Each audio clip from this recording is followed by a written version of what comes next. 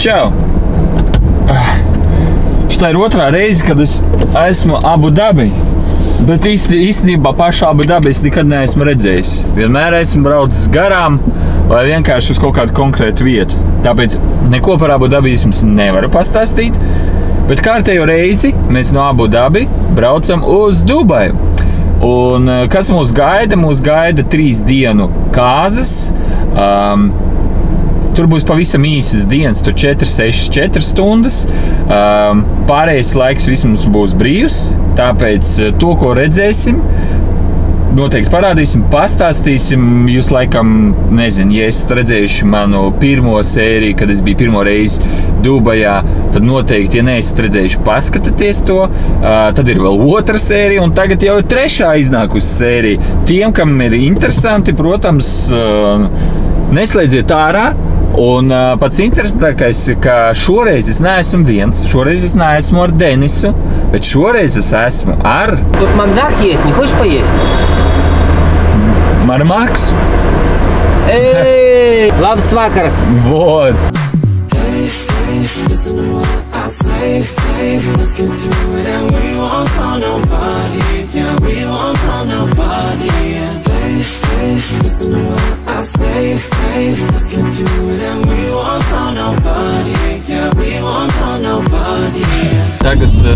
Neliels auto apskats, jo es biju pasūtījis mašīnu, kā parasti pasūtu vienu marku un saņemu pavisam citu. Un es pasūtīju Hondu. Es pasūtīju Hondu, bet kā parasti, protams, iedod citu auto. un Mums iedeva Nissan Almina. Almina? Nissan Almina 2,5 litrīgi. Un eh, es jums teikšu tā, ka es Nissan eh, vispār ne, nu, neuztveru kā mašīnu. Nu, mans fork. Mans personīgs viedoklis, bet uh, es jums teikšu, ka viņa brauc ļoti glīti. Un viss tāds salons, viss tāds komfortīgs ir un viss tāds zolīts, zolīts. Un, Jā, jā, jā, lido kā lidmašīna. Gabarīti tāda liela viņai, bet nu, kopumā viņa ir ļoti kvalitatīva Right mašīna. Nu, lūk, mēs esam ieradušies tādā foršā, stilīgā vietā, kur tirgo visādas burgerīšas un uh, pīcis. Es nezinu, vispār, kas tas ir. Jā, pīcis, burgerīšas un te arī ir. Te, kur tur jūs varat redzēt, tādi visādi trailerīši ir. Dažādas kompānijas piedāvā savu ēdienu, un uh, tur arī re, kur ir KFC. Un, uh, Un Tas tā kā kaut kāds, nezinu, kāds uh, garām, brau, garām braucošajiem pitstopiņš vai kaut kā tā, kur var uzkost, pāriest normāli. Mēs pasūtījām divus gurmetu burgerīšus. Tālāk izskatās mūsu auto. Ja? Nissan Almina 2,5 litri. Nu, nekas īpašs. Es nezinu, es tādu nekad nebūtu nopircis, jo pēc izskata, protams, viņa ir kroplīga. Brauc viņa ļoti labi. Un, Un, un, un, un, un, un, un, un tāds luxury, luxury viņai viss tāds solīds, kvalitatīvs, viss ir un diezgan liela viņa. Un, uh, jūs varat redzēt, aizmugurē vietas arī diezgan daudz. Principā tā kā boss var sēdēt. Un, uh, kā tā izskatās stūri, arī tāda stilīga, redziet, kvalitatīva. Nezinu, vai tā ir rāda vai nav, bet, nu, jā, kaut kā tā. Degustēsim tagad. Uh, Lūk, šī tāda kompānija, Burger Pit. Un Te ir īstenībā ļoti daudz variantu. Pirmais, ko viņi mums piedāvā, tās ir mitrās salvetes, lai jūs varat eh, noslaucīt savus rokas kārtīgi. Jo tas ir jādara pirms ēšanas. Tie, kuri nezināja, jā, kas mums tur burgerī ir. Wow! Nav tāds McDonald's stils, vairāk tāds mājīgāks. Un kas mums ir vistas, siers, tomāts, salāti un tur beigons arī ir uzcepts. Nu, Labi, garšosim. Garšīgi, viss svaigi pagatavots. Nu, loģiski, savādāk jau nevar būt. Bet garšīgi. Maks, tev garšīgi? Kusnām? Šeigi. Šeigi, šeigi. Starp citu, šī vieta saucās Last Exit pēdējais izbrauciens, pēdējā izēja, tas ir uz trases tieši tiem, kuriem interesē. Un mēs dodamies tālāk, mums vēl 40 minūtes jābrauc līdz Dubajai.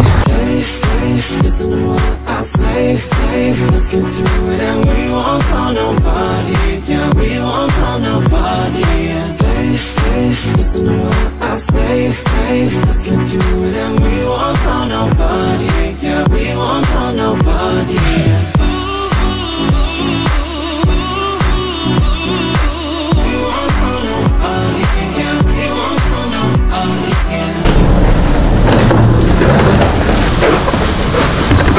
Un pavisam neliels review. Tālāk izskatās numuriņš. Nu, nekāds pošs, bet no rekorda ir liela gulta, mazāka gulta. Kaut kāds, nezinu, stāps. Vaļēra, vecais, labais vaļēra. Vat Cik es neesmu ceļojis, vienmēr visās viesnīcās ir vaļēra. Labi, nu ko es varu teikt? Mēs ejam tagad gulēt. Rīt eh, par laimi mums nav agri jāceļās. Mēs varēsim izgulēties rīt, šodien, tāpēc ka tagad ir trīs jau no rīta. Un, uh, nu, tad jau filmēsim tālāk, rādīsim, kā un kas izskatās. Vēlreiz atkārtošu, trīs dienas filmējumu par 4, 6, 4 stundām. Tāpēc nav garas dienas, un visu pārējo laiku mēs vienkārši pavadīsim, čilosim. Starp citu, šī viesnīcā kaut kur augšā ir baseins. Uz kuru mēs noteikti aiziesim papildēt, un sporta zāle, kur strādā 24 stundas diennaktī.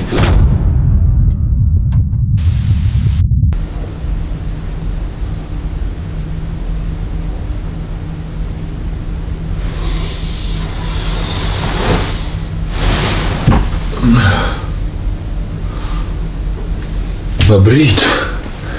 Viens pa dienu jau. Kur maks, tas esmu es. Laikam, ja jūs pamanījāt, mēs atrodamies pavisam citā istabā. Redziet, divas atsevišķas gultas. Nē, mēs viņu nesagriezām uz pusēm. Vienkārši mēs paprasījām, lai mums iedod kaut kādu citu istabu. Un, protams, ar citu skatu. Un, kā jūs redzat, mums ir. Šis ir Mums ir brīnišķīgs skats, jā. Brīnišķīgs skats uz viesnīcas strojku. Mēs esam ārā, ārā nav tik karsts, par laimi. Saule īpaši arī nespīd. Un, uh, jūs paši laikam dzirdat, kāda te ir skaņa. Rīktīgi strojka notiek. Viss te darbojās. Почему? Есть. Mēs uh, tagad vienkārši nogulējām līdz vieniem dienā, un, uh, protams, jau brokastis nevar nopirkt, tāpēc mēs ejam uz veikalu, nopirkt kaut kādas kafiju. Tad Denis ir tāds malacis, slutina mūs, atrod, uh, atrod uh, viesnīcu mums vis, vislabākā lakšurī vietā, saproties, Dubajā. Un mēs tagad meklējam vietu, kur var padzert kafiju. O, penthouse tur ir, jā, jā, jā. Mēs meklējam tagad vietu, kur var padzert kafiju, uzēst vieglas brokastis un uh, viss. No. Re, kur tuk, tuk, tuk, tuk. Re, kā izskatās. Redziet, Indijā ar tādiem braukā Balī laikam un uh, kur tur vēl visās tanīs valstīs. Baigi, ne? O, un te arī, protams, krievu valodā. Gromkais viesis. Tālāk izskatās mūsu viesnīcas dienas laikā. Tā kā normāļņika, te baigi, baigi, es nezinu, vai var redzēt video, bet te ir baigie putekļi. Tādas smiltis lidinās. Un, protams, visas ēkas un visas mašīnas ir uh, noklātas putekļos. No? Un kas tas pats ir par vispār nesaprotu? 619, 638, kas tas tāds? Kāds var man pateikt? 719 un kaut kāds koks. Ha, es tikko pamanīju, ka te ir sporta režīms arī. Lūk, redziet šitā podziņa. Viņi nospied. Un tad tur mums parādās uz paneļa sporta. Redziet?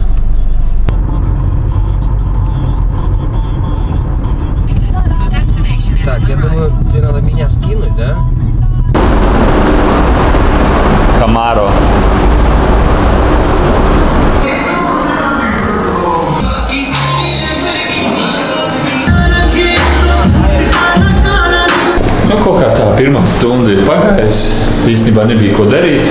Labs dienas! Labs dienas, jā. Un, uh, nu jā, tagad brauksim atpakaļ uz viesnīcu. Mums būs tāda pauze uz četrām stundām. Maks bija šim pastrādās, bet es aiziešu uz sporta zāli. Viņš patrenēties. Un tad astoņos mēs atgriezīsimies uz šejienu. Nu, tad redzēsim, kas notiks. Nu, ko, dārgie draugi? Es esmu īstais burvju meistars un es jums parādīšu burvju triku. Lūk, skatieties! Redziet! Magic! Magic! Opiņā. Mēs kaut kur ne tur nogriezām, un tagad mēs nezinām, kā braukt atpakaļ. Tā ir, es saku, Dubajā braukāt. Nu, es domāju, ka mēs brauksim uz turieni, Maks. Ui, o, tagad būs sūdi. Kā no šejienes izbraukt? Reāli nav ne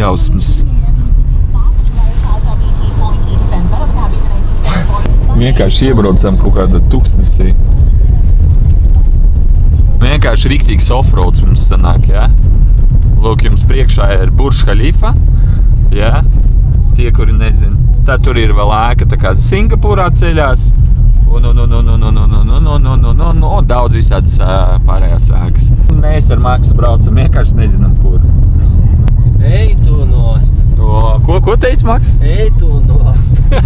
Vot tā! Nu, Ko aiziesim, pameklēsim, kur tad te ir sporta zāle. Maks aizgāja pamatēt bišķiņu, es iešu patrenēties. Jo bez sporta es dzīvot nevaru. Tā, sporta zāle ir 9. stāvs, bet te 9. stāva nav. Tagad skatīšos, ko nozīmē R.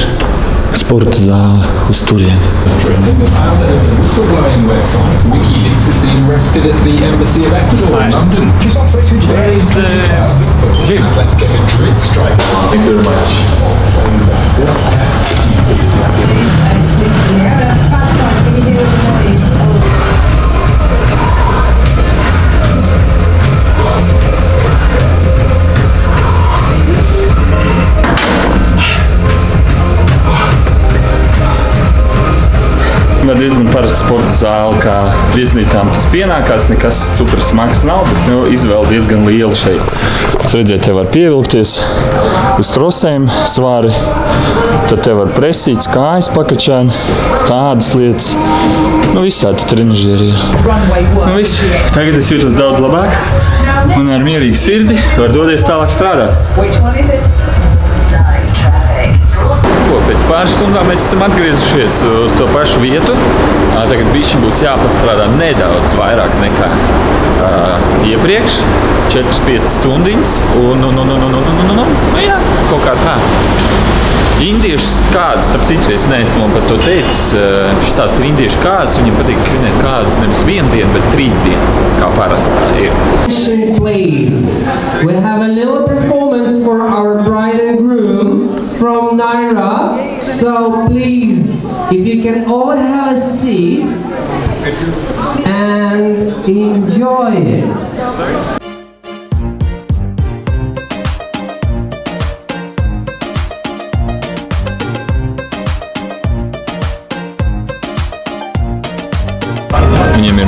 Nenormāli garšīgi saldumi. Maks, šis zaļais, es nezinu, kas tā kūciņa. Saldu, saldu. Zaļā kūciņa, nu, kaut kādiem riekstiem, lazdu riekstiem, es nezinu, bet nu, nenormāli, nenormāli garšīgi. Saldu.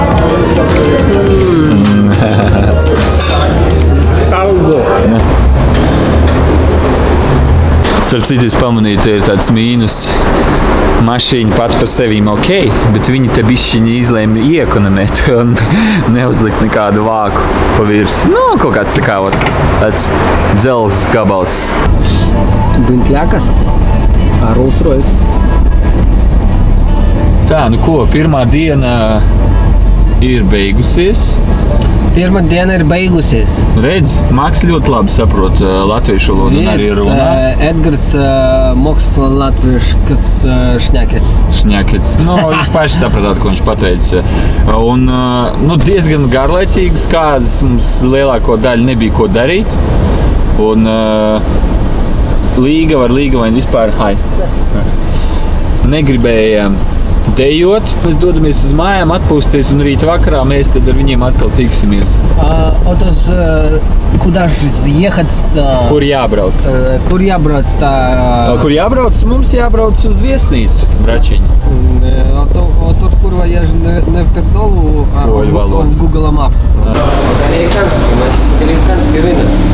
Такие тачки только в Америке и в проамериканских странах.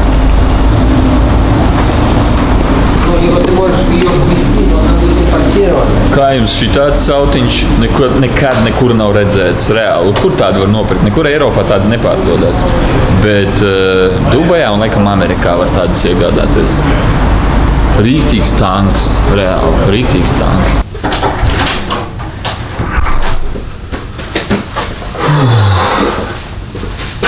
Nu ko, principā uz šodien tas ir viss. Tagad ir viens naktī. Tā kā mēs iesim gulēt. Rīt kāds turpinās. Par laimi, sākums ir tikai 6 vakarā, tāpēc es domāju, ka mierīgi mēs varēsim pagulēt, pāriest brokastis, pusdienas un tad uh, doties, kā sakās, mierīgi svinēt kādas. Ar labu nakti visiem! Jā, labu nakti visiem! Maks Rubila, gaisa mārā! Oh, čau! Čau!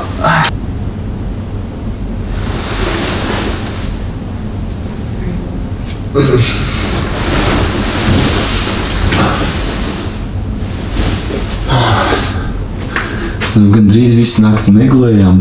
Nu, es vismaz negulēju, tāpēc ka trijos no rīta noskanēja ugunsgrēka signalizācija. Mēs īstenībā nezinājām, ko darīt, iet ārā vai ne, bet nu, nekas nenotika, nevienu nesauc ārā. Nu, jā, tagad cik tagad ir pūkstens viens pa dienu, pusdivi pareizāk, un uh, sešos mums sākās kādas. Maks, redziet, vēl guļ, bet viņš no rīta bija pamodies, aizgājis uz uh, brokastīm. Labrīt! Labrīt, redzi, kā. Un uh, es arī tikko aizgāju uz brokastiem, kā tikko es tikko pamodos, gandrīz par paļilsu.